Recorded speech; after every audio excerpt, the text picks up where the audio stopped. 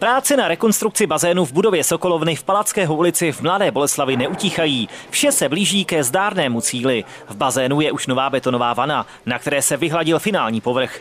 Následně se pokračovalo v instalaci odvodňovacích kanálků a na dalších úpravách v interiéru. Velký díl prací se ovšem v prosinci odehrává také venku, ve stavební jámě z boku budovy, kde se zastřešuje zázemí pro technologie. Dále jsou připraveny prostory pro šatny, sprchy a toalety, kde je potřeba dokončit rozvod elektro instalace. Právě sprchy, šatny a toalety budou oddělené zvlášť pro muže a ženy. Další toalety budou u východu z areálu bazénu. Kromě vlastního bazénu a zázemí zde bude také výřivka, parní komora a nový bude i způsob osvětlení.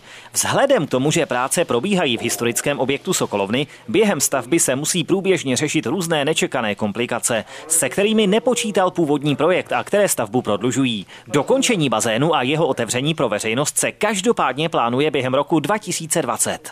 Roman Klesa, první Boleslavská.